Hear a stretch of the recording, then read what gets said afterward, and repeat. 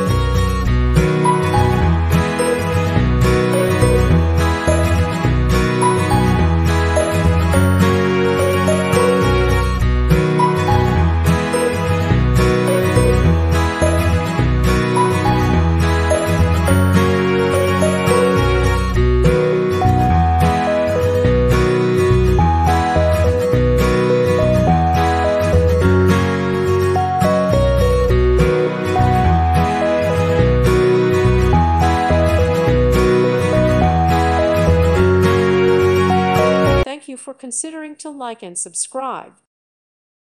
Thank you for watching, and God bless.